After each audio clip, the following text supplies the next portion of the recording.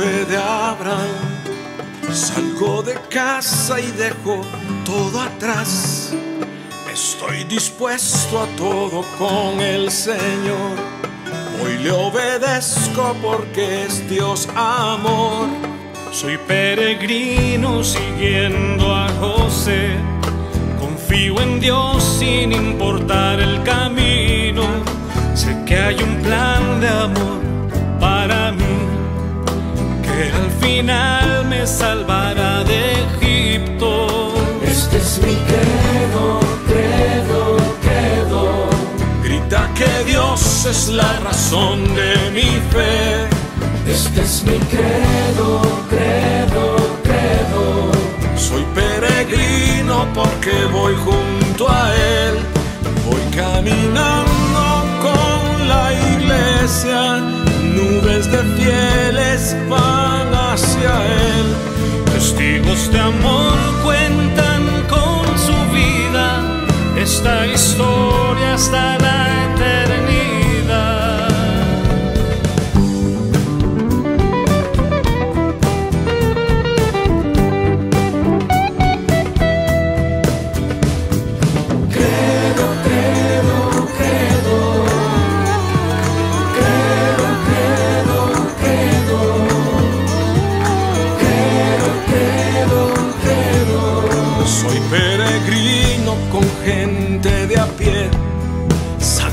sencillos que esparcen la fe.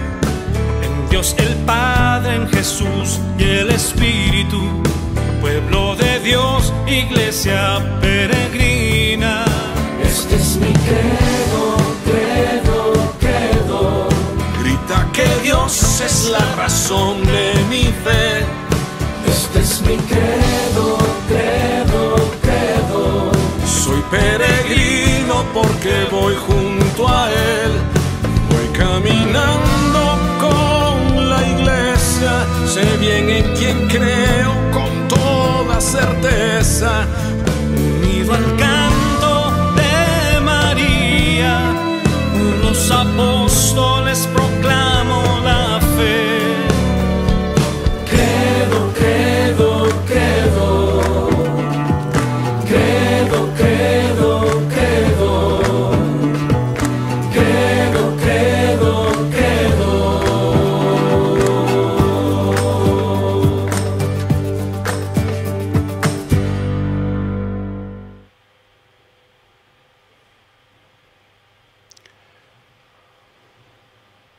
Mis queridos peregrinos, muy buenos días a todos.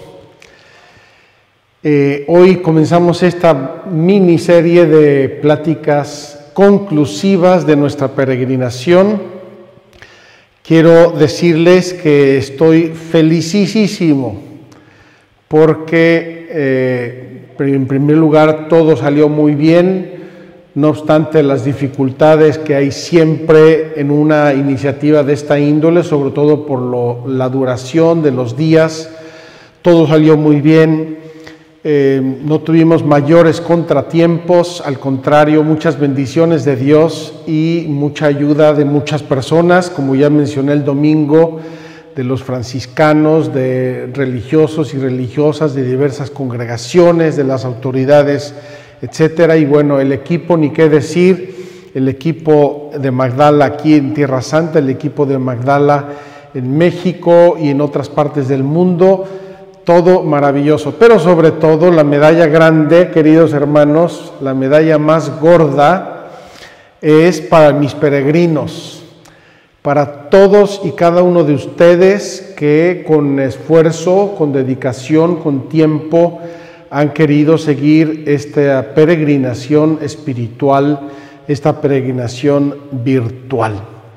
Pues bien, les quiero comentar sobre todo algunos testimonios y sa- entresacar de testimonios algunas ideas claves que considero importantes que resumen de algún modo nuestra peregrinación. Voy a irla sacando, repito, de entre algunos testimonios y también quiero compartirles algunas tres o cuatro imágenes muy interesantes, muy lindas y también una sorpresita que les tengo que me conmovió mucho el corazón y que la quiero compartir con ustedes. Quiero pedirles también sus oraciones. Entre todos nuestros peregrinos hay peregrinos que tienen necesidades, necesidades importantes, necesidades graves. En particular quiero mencionar a una señora de la Ciudad de México que se llama Norma, que empezó ayudándonos ah, en el seguimiento de las redes sociales y ya estaba delicada de salud y en los últimos días se ha complicado mucho su salud. Quiero pedirles una oración para Norma porque verdaderamente está en un momento difícil de, de salud, ella y obviamente también su familia. Son los que se me ocurren ahora así de inmediato, pero por todos los que tienen necesidades. Quiero resumir, queridos hermanos, en siete frases breves lo que ha sido nuestra peregrinación. Siete frases breves, para los que les gustan los esquemas y para los que han escrito hasta los chistes que he dicho. Primera frase. Todos nosotros somos medios los libros, los lugares, el coche, la lámpara, el báculo y las personas.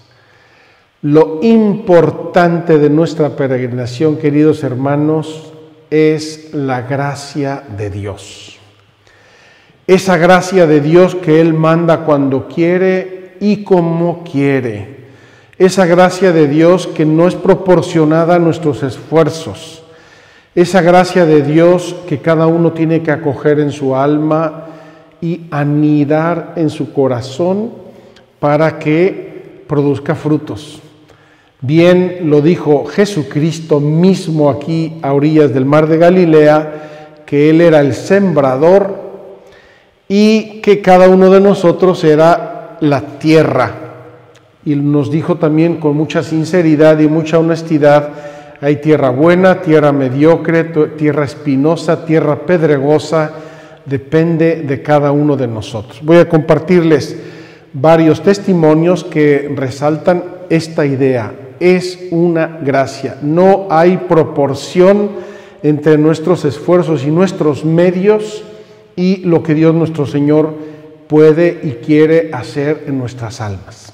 Primera frase es una gracia, es la gracia de Dios, es el amor de Dios, llámenlo como quieran, la acción del Espíritu Santo, gracia de Dios, amor de Dios, presencia de Dios, acción de Jesucristo en nuestras almas. Creo que es importante que pongamos cada cosa en su lugar y esta es la más importante en absoluto.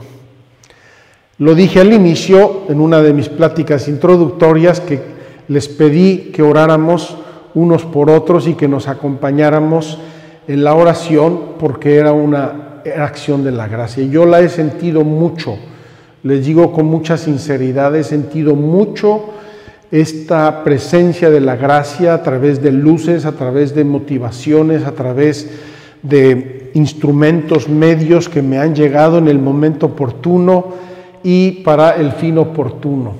Y lo mismo la interacción con ustedes. Eh, un mensaje de una persona, una sugerencia, una llamada telefónica, algo que me ponía en las manos el instrumento adecuado y necesario en ese momento para compartirlo con ustedes. La gracia de Dios. Y por eso le dimos gracias a Dios sobre todo en nuestra vigilia pascual y en la misa del domingo de resurrección donde les dije, es agradecimiento, es Eucaristía, se nos tendría que salir el corazón de agradecimiento a Dios nuestro Señor. Primera cosa. La segunda, el credo es la síntesis de nuestra fe. Queridos hermanos, les puse una imagen en algún momento de la peregrinación, ya no recuerdo cuándo, les puse una imagen y les dije, miren, nuestra fe es como un edificio. Es un edificio precioso, uno entra a una casa, por ejemplo, y dice, uy, qué muebles tan hermosos, mira qué bonito está pintado, qué bonito el jardín, estas plantas. Pero debajo de los muebles, debajo del piso, debajo de la pintura y debajo del jardín está el edificio, la estructura de cemento armado que es la que hace el edificio. Yo puedo tener los muebles más bonitos, si el edificio no está bien se puede caer y me destroza los muebles. Cuando hablamos de nuestra vida cristiana, de nuestra vida religiosa, de nuestra eh, espiritualidad, de nuestra fe, de nuestra oración, estamos frecuentemente hablando de la decoración y de los muebles. El credo es la estructura, es el cemento armado, son las varillas que sostienen todo el edificio, todo, desde los cimientos hasta el techo y los edificios, los pisos que tengamos. Se lo digo, queridos hermanos, porque me doy cuenta de que con esta peregrinación muchos de ustedes han logrado como tomar conciencia de la importancia que tiene lo esencial, lo esencial. Si yo tengo bien plantada mi fe, si yo creo que Dios es el creador de todas las cosas y es el que me hizo a mí y es el que hizo todo lo que tengo y todo lo que soy, las cosas van tomando una dimensión diferente. Cuando perdemos de vista esas verdades fundamentales, todo lo demás es colgar cosas en muros imaginarios, en, muros débiles, que en muros que se nos pueden caer. Me hace pensar en esas ferias donde uno va a visitar y ve los stands de las ferias, son preciosos y cuando acaba la feria todo el mundo le hace así y se caen todos los muros y los recogen como basura. La fe es un edificio sólido porque es un edificio espiritual que Dios nuestro Señor edifica en nuestras almas. Con la fe y con el credo, queridos amigos, para muchos de ustedes se renovaron sus convicciones de fe. Y esa renovación de sus convicciones ha ido poniendo en su lugar muchas cosas. Muchas personas me han escrito, algunas que su misma vida entera ha cambiado su, sentido. Voy a comentarles testimonios todos de modo anónimo, obviamente, por respeto a las personas. Hay personas que habían perdido el sentido de su vida. Había personas que habían perdido el sentido de su familia. Personas que habían perdido el sentido de su fe y de su práctica religiosa. Y con la renovación de su credo, se pusieron las cosas en su lugar. De eso, queridos hermanos, solamente podemos agradecerle a Dios y decirle, bendito sea Dios, y ojalá que ese beneficio espiritual y humano que recibieron muchas personas se mantenga en el tiempo, incluso sea creciente. Otro tema que ha traído para muchos la renovación de su fe es poner orden, poner orden. Queridos hermanos, la paz, la paz, la definen los filósofos y la recogen los padres de la iglesia como la tranquilitas ordinis, es decir, la tranquilidad del orden.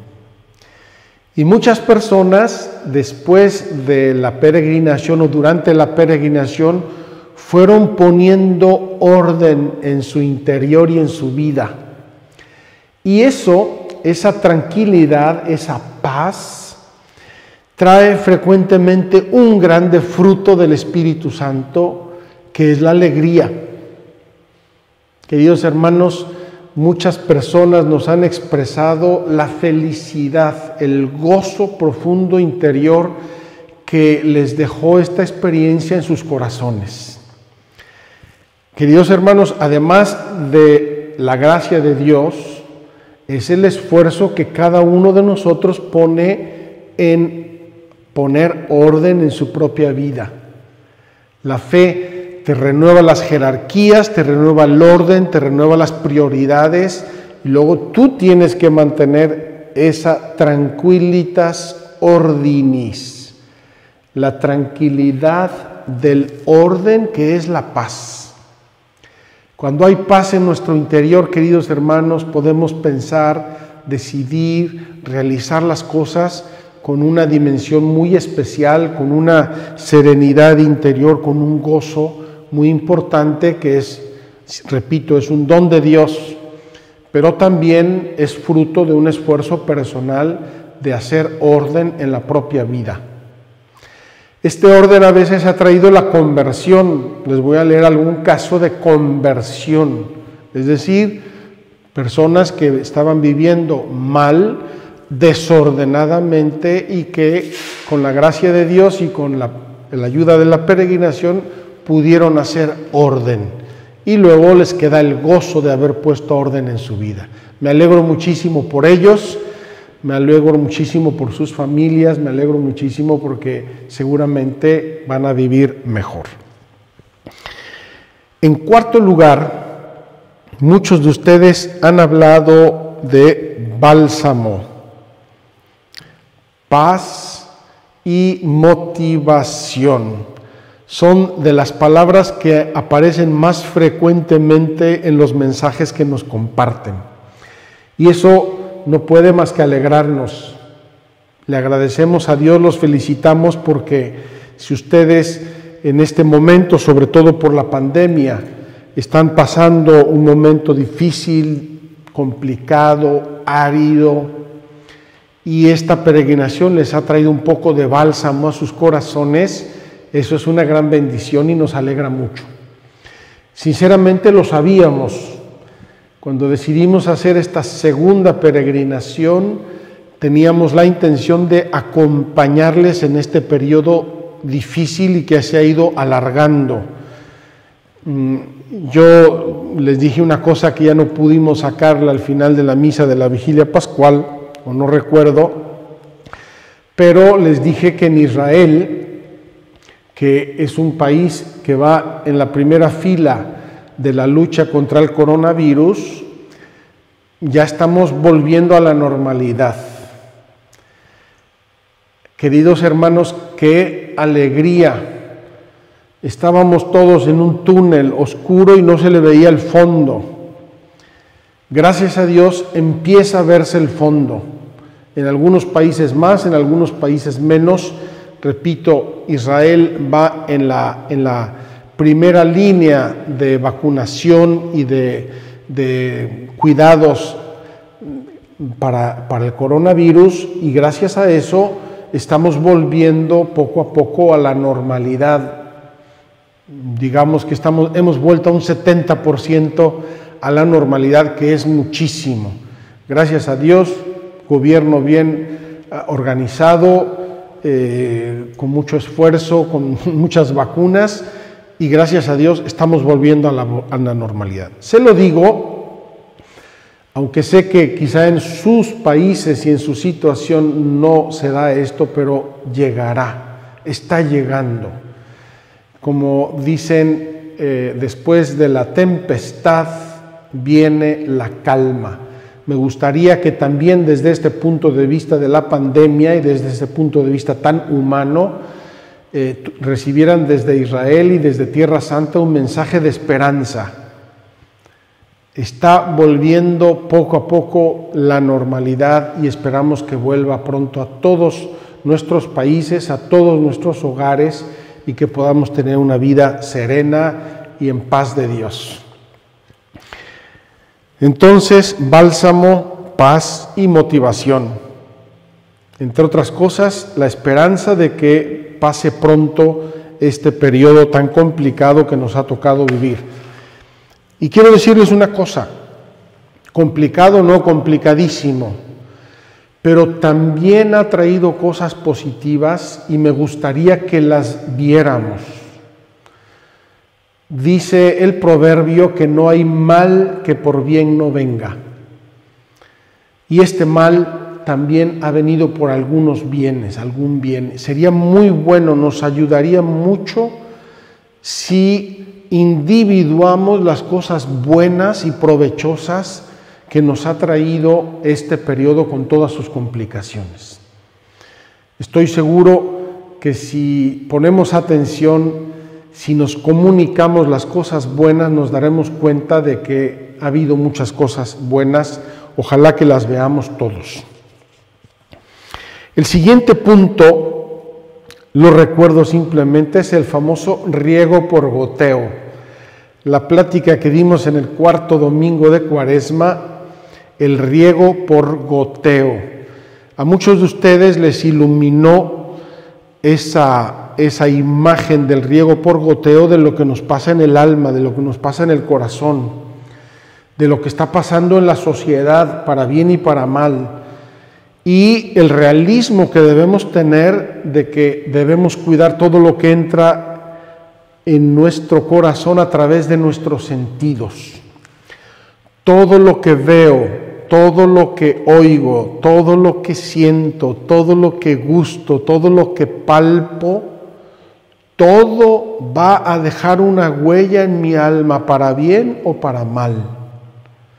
Por eso nosotros debemos tener la sabiduría de poner un filtro, un filtro grande a imágenes, a ideas, a motivaciones, a, estímulos, para que no me entren dentro de mi corazón. Cuando ya me entraron, me los tengo que ir digiriendo y necesito a veces mucho esfuerzo, mucha purificación, mucha gracia de Dios para digerirlos porque nos hace mal. Mejor que se queden fuera y yo escojo lo que entra en mi corazón y en mi alma y en mis sentidos y en mi imaginación y en mi memoria. Eso del riego por goteo vale mucho en estos temas de la fe. Les voy a ser muy, muy honesto. Me preocupa mucho, por ejemplo, el modo como las noticias hablan tanto contra la iglesia.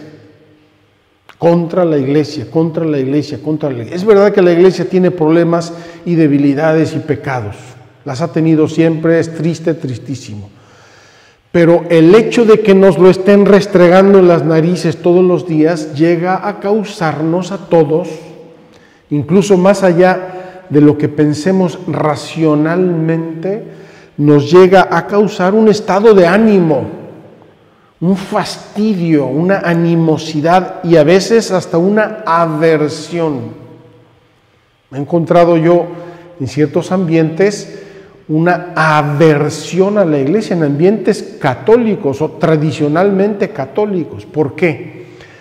Por el griego por goteo, una gotita hoy, otra mañana, otra pasado, otra al día siguiente, y una un mes, y otra el mes siguiente, y otra el año siguiente, y el riego por goteo acaba por producir sus frutos.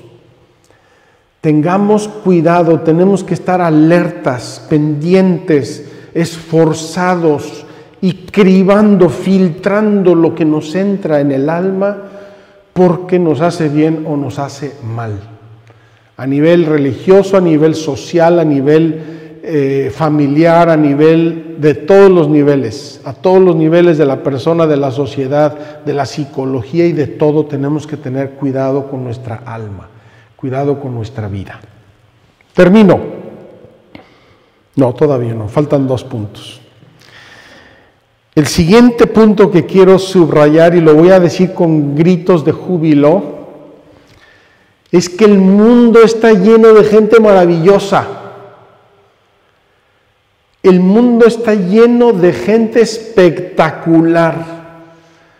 Y lo hemos constatado en estas, en estas semanas Cuántas gentes preciosas, familias nos han contactado, nos han mandado videos, testimonios, fotos, cantidad de cosas preciosísimas.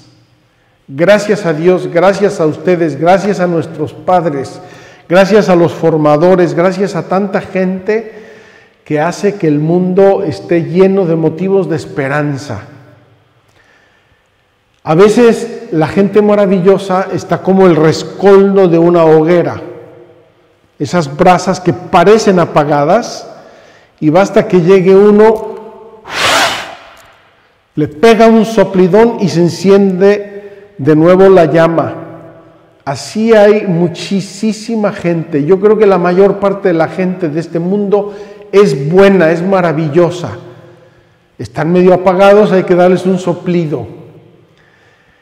Bien dicen, ¿verdad?, que hace más ruido un avión que se cae que los 25 mil que vuelan cada día. 25 mil vuelos cada día comerciales. Y se cae uno y ese hace noticia y hace susto y hace escalpor por todos lados. Entonces, queridos hermanos, el mundo está lleno de gente maravillosa, preciosa, linda, buena de corazón, donde Dios hace maravillas, pero no hacen noticia. Y ahí están muchos, muchísimos de ustedes, la mayoría de ustedes y de sus familias y de sus hijos. El último punto que quiero comentar ahora es el tema de la Tierra Santa. Queridos hermanos, tengo que admitirlo, ha sido un poco por motivo de la pandemia, un poco por motivo de una luz del Espíritu Santo y una providencia de Dios, que se nos ha ocurrido llevarles la Tierra Santa a sus hogares. ¿Cuánta gente nos lo ha dicho? Incluso muchos dicen, Padre, jamás hubiera yo podido haber ido a Tierra Santa y ahora ustedes me la han traído a mi casa. Y digo traer la Tierra Santa porque no es lo mismo hacer documentales sobre Tierra Santa que llevar la Tierra Santa envuelta en la fe, en la oración, en la piedad, en los misterios de Dios. Espero que me cachen bien esta, esta distinción. Yo puedo hacer de todos los lugares que les mostré, podría yo hacer perfectamente documentales, es decir, programas informativos para todos y cada uno de ustedes, probablemente mejores que los que hemos hecho. Pero eso no es llevar la Tierra Santa. La Tierra Santa hemos intentado llevársela a sus casas envuelta en la fe, envuelta en la piedad, envuelta en la acción de Dios, envuelta en la providencia de Dios. Y eso es una cosa muy diversa que hacer documentales. Voy a ver algunos testimonios y eh, lo vamos a ver en, en la práctica en concreto. Hace mucho me dijeron una, un proverbio castellano, probablemente se entienda bien solamente en Castilla, no lo sé. Un proverbio castellano, gracias Paula. Dice, dice este proverbio que algunas personas quieren el hambre del hijo del esquilador. Esquilador, para los que ya no saben estos lenguajes del campo, es el que le corta la lana a las ovejas, el esquilador. Y dicen que un esquilador llegó a una finca y llevó a su hijo, cosa bastante natural, sobre todo en la antigüedad. Iba el esquilador, iba hasta con la familia y esquilaba las ovejas. Ahí donde había 100 o 300 o 500 ovejas era un trabajo enorme.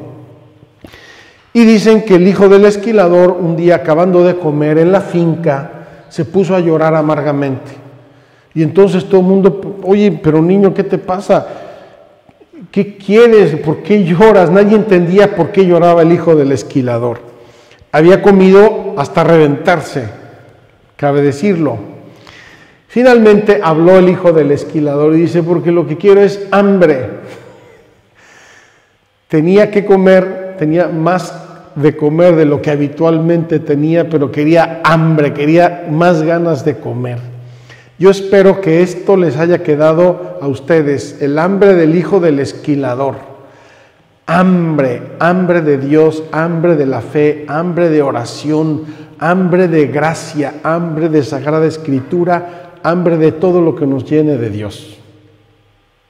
¿Sí? Les voy a compartir la primera sorpresa. y es un video que me mandó un, un amigo con su hijito de cuatro años que canta el... Es solo audio, es solo audio.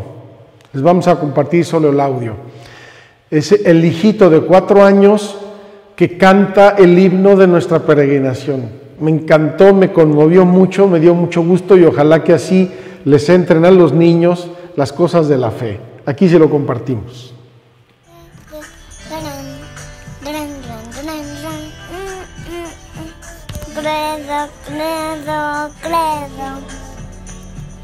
Credo, credo, credo. Credo, credo, credo. Ando con la fe de Abraham. Santo de casa y de atrás. Estoy dispuesto con el Señor.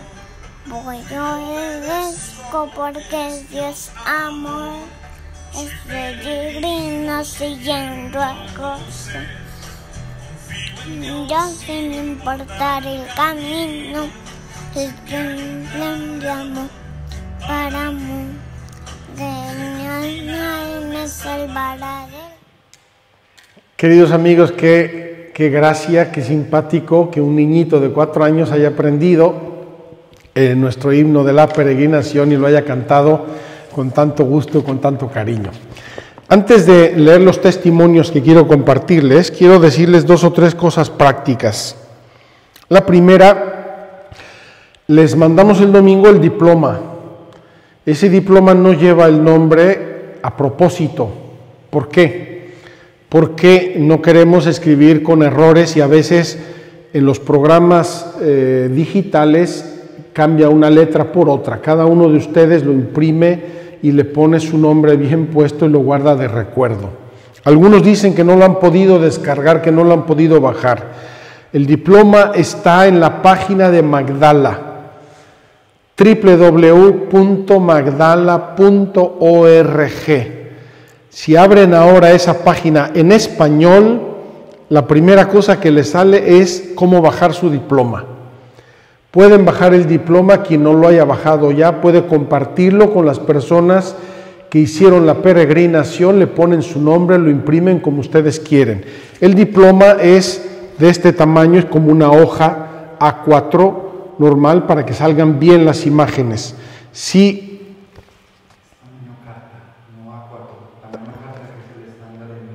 Tamaño carta, me dice aquí Felipe que es tamaño carta, que es el tamaño más estándar de Latinoamérica, más o, más o menos es de este tamaño. Si lo imprimen más grande, probablemente las imágenes saldrán un poco pixeladas o deformadas. Tamaño carta, que es el, el, el, tamaño un poco más estándar, más universal. Pueden bajarlo, bájenlo, imprímanselo a las personas mayores, a las personas que no pueden o no saben cómo hacerlo para que tengan su diploma de recuerdo de esta peregrinación. Si hacer un cursito de cinco horas a veces nos da derecho a un diploma, imagínense el que se ha hecho sus 50 horas de peregrinación y 50 horas de misa. Se merece su diploma y esperemos que les guste y que lo conserven. Segundo que quiero decirles es que tenemos un notable retraso en responder mensajes como ya les había yo anticipado en mis, en mis pláticas introductorias, recibimos muchísimos mensajes de email, de, de redes sociales, de WhatsApp, y tenemos un notable retraso. Pedimos una disculpa y vamos a tratar de irles respondiendo en los próximos días todos sus mensajes. Si son mensajes de agradecimiento, probablemente ya no se los respondamos. Les agradezco de corazón, con toda mi alma, pero no puedo responder 3.500 mensajes de agradecimiento aunque quisiera. Cuando hay una petición o una consulta o algo personal, sí los vamos a responder con mucho gusto y les agradezco mucho su comprensión por eso. En tercer lugar, les quiero dar un pequeño jalón de orejas. Jalón de orejas, y les digo por qué. He recibido muchos mensajes haciéndome preguntas sobre cosas del catecismo. Y son preguntas bastante sencillas y bastante obvias.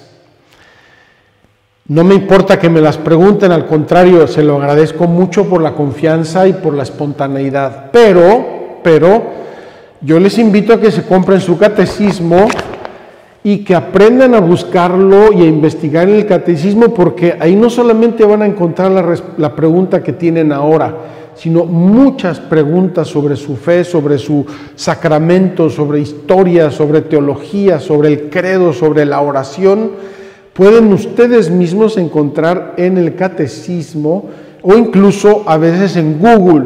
Por ejemplo, muchas personas nos han estado preguntando a propósito de las indulgencias del año de San José. Si ustedes van a Google y ponen indulgencias año de San José, les sale inmediatamente el decreto con toda la explicación que es lo que yo les podría mandar. Esto para sugerirles que o en Google o en el catecismo quisiera yo invitarles a que ustedes mismos busquen la solución a sus dudas porque es importante que ustedes se hagan proactivos con su propia fe, con el catecismo, con el credo. Es una invitación fraterna porque les va a ser de mucha utilidad a ustedes el buscar solución y respuesta a sus propias preguntas. No, con, esto no quiero desentenderme de responderles, al contrario, pero sí hay a veces preguntas muy obvias de cosas que ya explicamos y que les haría mucho bien a ustedes el ir e investigarlas porque así saben dónde encontrar respuestas a sus preguntas. Voy a pasar ahora a comentarles algunos de los testimonios, algunos de los testimonios. Comienzo con este. Quiero contarle algo especial que ha ocurrido en mí con este peregrinar. Ha despertado en mí una sensibilidad exquisita a cada palabra, cada pasaje de la Biblia o cada parte del catecismo. El Espíritu Santo ha obrado en mí para abrir mi entendimiento y poder ver más allá de las palabras y poder comprenderlas e interiorizarlas. Las había escuchado muchas veces en otras ocasiones, pero sin ver la riqueza que escondían. Me siento tan sensible que cada cosa, por pequeña que sea, me emociona hasta las lágrimas. Podría decir que fácilmente me salen, me brotan lágrimas de los ojos. Lo único que deseo ahora, y esto es lo lindo, lo importante, lo único que deseo ahora es agradarle a Dios con mis obras, mis actos y seguir este camino que conduce a Él. Felicidades a quien me mandó ese testimonio y vean cómo es obra de Dios. Es la gracia que en un momento determinado hace que se me caiga el velo de los ojos. Otra, cambiaron muchas cosas en mí, apreciando más el regalo que Dios me ha dado con la vida. Como les dije antes, incluso el sentido de la vida a veces cambia notablemente cuando se tiene a Dios. Y es lógico, Dios es el creador y dueño de la vida. Aquí les doy un testimonio de conversión. Dios lo bendiga, Padre Juan. Independientemente de todo lo aprendido a través de usted, un día lo escribí en los comentarios, he llorado por todos mis pecados, llorado como María Magdalena. Me he confesado, me he arrepentido porque no lograba perdonarme a mí misma el haber traicionado a mi Señor. Ahora he oído también la voz de mi Padre, que me ha perdonado y recibido una, vez más en sus brazos amorosos, lo cual me alienta la esperanza y la fe de llegar un día al cielo y verlo cara a cara. Queridos hermanos, qué hermoso esta gracia de conversión, de, perdonarse a sí mismo, que es donde, donde muchas veces se nos atora la burra, como dicen en mi tierra, sabemos que Dios nos perdonó, pero no nos perdonamos a nosotros mismos y el aliento de llegar al cielo y encontrarme con Dios cara a cara. Felicidades a quien eh, nos escribe este testimonio. Aquí me dice una persona que seguro es mexicana por la expresión, me quedé picada. Quedarse picado en México es quedarse con mucho interés. Cuando se, se corta una película a la mitad, uno se queda picado, ¿verdad? Me quedé picada y con ganas de conocer más de Jesús y de mi religión. A quien me mandó este testimonio le digo, no te quedes picado, busca, investiga, fórmate, Dios te va a bendecir, reza más. Ha sido un aprendizaje espiritual que ha llenado mi alma de inmensa alegría. Queridos hermanos, esto me alegra mucho, que alguien tenga después de esta experiencia una inmensa alegría. Esto es fruto del Espíritu Santo, la alegría, la paz del corazón. Dice así, aprendí con mucha tranquilidad a escuchar y meditar la palabra de Dios en sus catequesis. Capté la importancia de leer con frecuencia el catecismo de la iglesia y tener una Biblia como mi gran, mi gran compañera de cada día, quien me calma, me reconforta en el vivir cotidiano, me da el ánimo para ir con alegría al encuentro de Dios cuando me llame. Qué hermoso, el catecismo, mi Biblia, para que me acompañen cada día y para que se hagan luz de mi vida. Quiero pedirle a Felipe que comparta ahora, les voy a compartir. Esto es una felicitación que me mandó un niño de 10 años el día de mi cumpleaños. Ya se enteraron ustedes que el día de San José cumplí años. No les digo cuántos porque es ya horrible cómo avanza la vida. Cumplí años.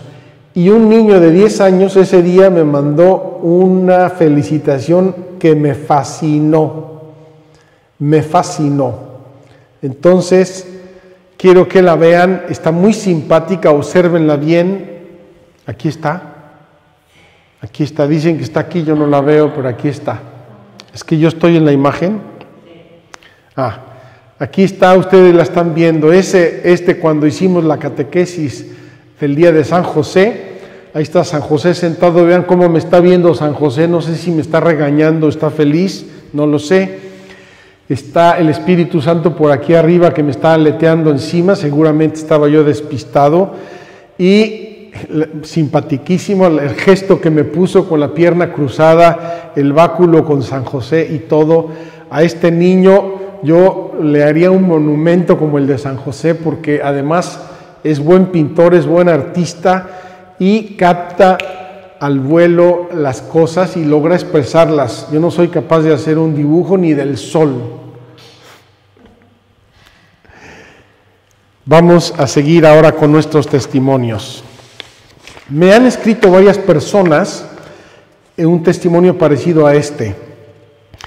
Gracias a ustedes, como instrumentos de Dios, he podido ver la película de la pasión de nuestro Señor Jesucristo de Mel Gibson. Quizá le parezca una tontería, pero no tenía yo fuerzas para verla. Sus catequesis me dieron la fortaleza para ver tanto sufrimiento y dolor. Agradezco ahora tanto amor de Dios y de su amadísimo Hijo hacia nosotros. Queridos hermanos, me he encontrado con la sorpresa de que mucha gente eh, le horroriza la pasión de Cristo, cosa lógica y muy, muy entendible. Pero tenemos que acercarnos a la pasión y tenemos que verla como un acto infinito de amor. A mí me alegra mucho, lo he reflexionado, lo he querido traer porque me lo comentaron muchas personas y me llamó verdaderamente la atención.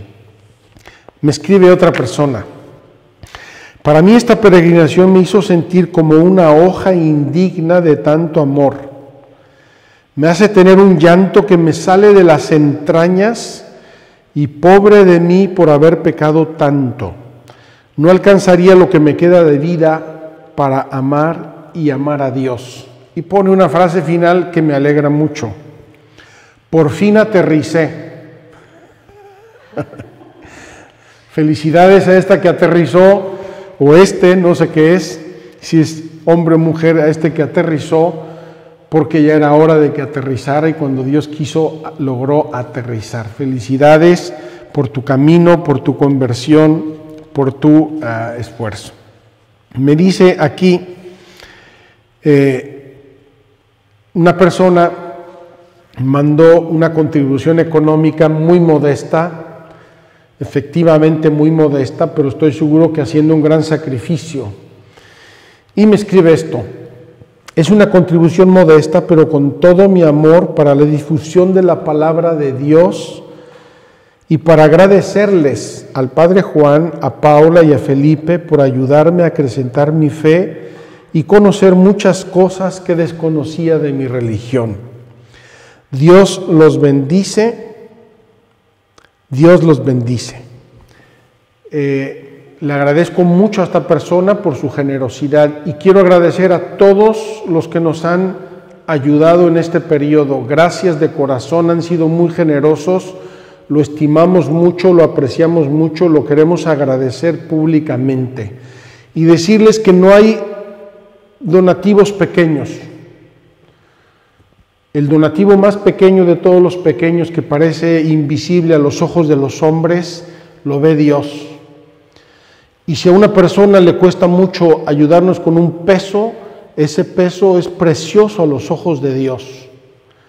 Acuérdense cuando Jesús vio en el templo la, la viuda que echaba dos reales, dos moneditas, no pasó desapercibido a los ojos de Dios. Y esta persona con toda razón dice, se lo mando para la difusión de la palabra de Dios. Gracias a esta persona, gracias a todos nos ayudan, nos dan los medios para seguir desarrollando el proyecto de Magdala y para seguir llevando la Tierra Santa a muchas personas y para seguir realizando lo que Dios nuestro Señor nos inspiró para este lugar santo. Gracias, gracias de corazón. Eh, quiero ahora compartirles otro testimonio que me encantó, me, me causó mucha ternura y que me parece muy hermoso. Es una persona que bordó en una tela, bordó los símbolos de, eh, de la peregrinación Ahí está el báculo, ahí está la linterna, eh, no sé qué más está ahí, Felipe. Está nuestra Biblia, está el logotipo de, de la peregrinación, está mi teléfono también. Ah, que lo vea yo en mi teléfono. Dice Felipe que vea yo mi... Ah, sí, sí, aquí lo tengo. Está un gato, no sé por qué está un gato. está eh, la, barca del Duquinaltum, está Magdala, está la, la cruz de Tierra Santa, está la palabra de Abraham, en fin, un bordado muy, muy lindo y muy significativo que hizo una persona. Y así podría yo enumerar cantidad de cosas preciosas. Ya les dije que muchas personas hicieron báculos y los grabaron con su nombre y los grabaron con las eh, palabras del credo, etcétera. Y una persona también me escribió, ya no sé dónde lo tengo, dice, Padre, acabamos de comprar una casa, nos pasamos a nuestra, nuestra nueva casa y lo primero que puse fue un candil para que nunca falte la fe en esta casa. Me pareció un gesto muy lindo, muy conmovedor, muy hermoso. Quiero ahora mm, compartirles así varios eh, testimonios así saltuariamente. Varias personas nos han dicho, Padre, no ha sido una peregrinación virtual, ha sido real, porque me sentí ahí. Y dice, no sé por qué, de hecho lo sentí, no sé si es manía persecutoria, pero eh, muchas personas dicen que sentían que venían caminando detrás de mí y seguramente es porque Felipe me andaba presionando siempre con la cámara. Muchas personas sintieron verdaderamente que estaban en Tierra Santa y eso me alegra muchísimo. Nos lo han comentado muchos, no fue virtual, fue real, fue una peregrinación que hicimos en la fe. Bendito sea Dios. Y dice esta persona que dice eso, porque para Dios nada hay imposible. Pues efectivamente para Dios nada hay imposible. Dice alguna persona que esta peregrinación ha sido para ella una luz que no se consume como la zarza ardiente. Me encantó eh, la, la comparación. Otras personas, varias nos han comentado que han eh, seguido la peregrinación mientras han estado enfermos, gravemente enfermos, y que les ha ayudado mucho, les ha dado mucha, mucha consolación el, el- haber seguido la peregrinación. Aquí dice una desde hace un mes estuve en coma por padecer cáncer de estómago. Y mi familia todos los días me ponía la grabación de la peregrinación, a lo que estoy muy, muy agradecida. Y ahora que ya voy mejorando, no pierdo cada día las catequesis que nos hacen con tanto amor. Me da mucho gusto que en una situación así les sea de, eh, de, de consolación. Sobre el credo, estas catequesis sencillas y profundas nos han renovado el credo, que es esa ventana que hemos mirado y recordado, por la cual hemos mirado y recordado las verdades de nuestra fe. Habíamos, la había- habíamos olvidado y solo las repetíamos distraídamente cada domingo sin contemplar o sin entender cada palabra, cada verdad que ellas encierran. Aquí otras personas, aquí un testimonio precioso, breve. Bendito Dios que los usa maravillosamente para enamorarnos de Él. Esta me fascinó y digo, qué maravilla. Si Dios nos usa para que la gente se enamore de Dios, bendito sea Dios. Por ahí algún otro me dijo que le parecía increíble que con dos teléfonos, a ver si lo encuentro porque era este. Dice, ¿quién iba a imaginar que con un celular y dos micrófonos y muchas ganas iban a traer de vuelta a casa, entre paréntesis, a la iglesia, a tantos de sus hijos que andaban perdidos? Sinceramente no sé cuántos había perdidos, pero sí había algunos que nos lo han comentado y que han vuelto a casa. Me alegra muchísimo y los, ah, los felicito por aquí otro muy parecido. Dios los bendiga, siempre les conceda vida y salud para que continúen llevando la buena nueva a tantos y tantos famélicos de la fe. Pues sí, tristemente con el riego por goteo hay gente que se está muriendo de hambre de fe. Otro testimonio, y con esto termino, otro testimonio frecuente, voy a leer uno, pero como este hemos recibido muchos. Tenemos que orar mucho, queridos amigos, tenemos que vigilar, tenemos que unirnos, tenemos que ayudarnos, tenemos que cubrirnos las espaldas en nuestra fe. Dice esta persona, eh, le pido por mi hija, por la que me atrevo a pedirle mucha oración por su conversión, pues ella está muy alejada de nuestra religión. Este es un testimonio y otro parecido, eh, lo voy a leer porque es muy duro, me dolió leerlo. Dice así, siento un dolor muy grave de ver a mis hijos alejados de los sacramentos, de la confesión y la comunión. No sé qué hacer y vivo angustiada por este pensamiento y dolor en mi corazón. Parece que hablarles de Dios les molesta o quizás sea mi forma de hacerlo. Veo mucha frialdad y poco amor, decisiones en su vida que los alejan cada vez más de Dios. Muchas personas nos han dicho y nos han escrito y le escriben en las redes sociales intenciones de esta índole. Queridos amigos, tenemos que hacer una armada, una pandemia de oración, de fe, de amor, de amor a la iglesia, de amor a nuestros sacerdotes, de amor al Papa, de amor a los sacramentos, para poder luchar contra este mundo que con el riego por goteo nos quiere alejar de Dios y nos quiere alejar de la verdad y nos quiere hacer caer en muchas tonterías. Quiero terminar. Dice así esta uh, persona, y con esto termino, es el broche de oro.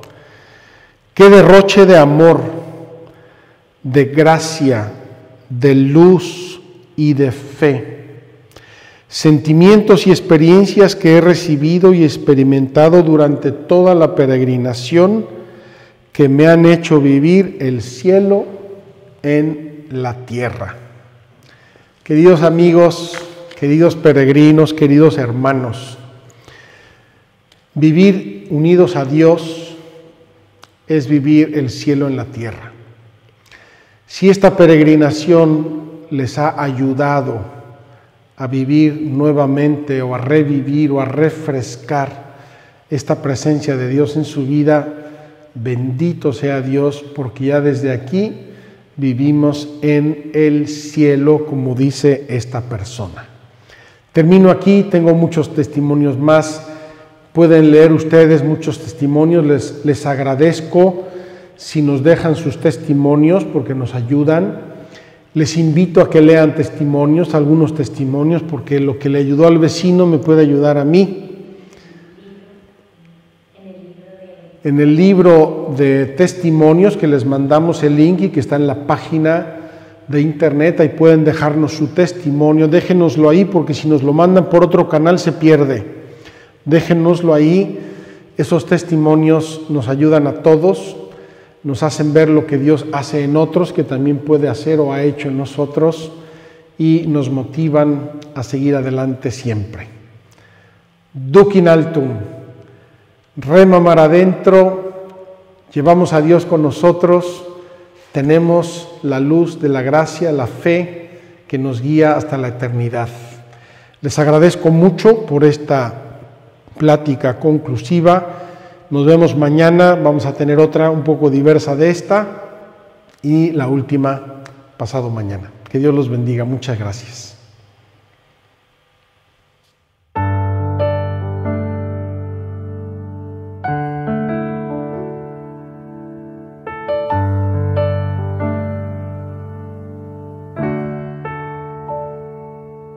Me pidieron que explicara qué es la fe. Me di cuenta que no hallaba las palabras y tratando de encontrarlas lo dudé. ¿Qué es la fe? Es creer que hay algo más que nuestra vida. La confianza de saberme acompañar